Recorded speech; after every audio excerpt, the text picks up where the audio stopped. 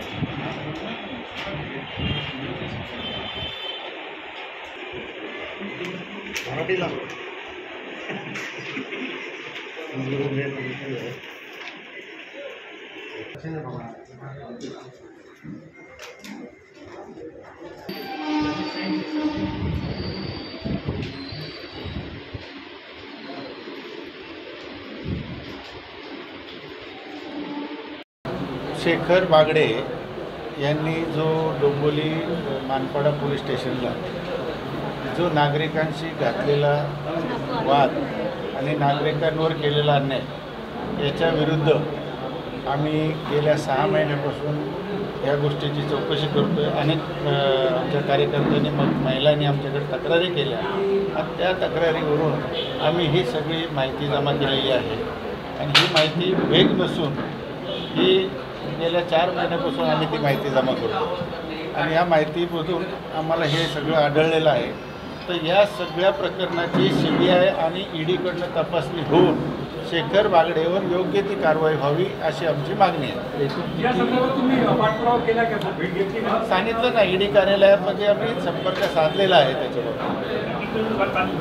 एकूण किती मालमत्ता साधारणतः सुमारे पन्नास ते साठ कोटी रुपयाची तर ही कागदावर मालमत्ता आहे. आणखी चुकी किती असेल हे आम्ही आणखी सुद्धा शोधा शोधतो आहे यापुढे सुद्धा जे काय असेल ते तुमच्यासमोर आम्ही आणू.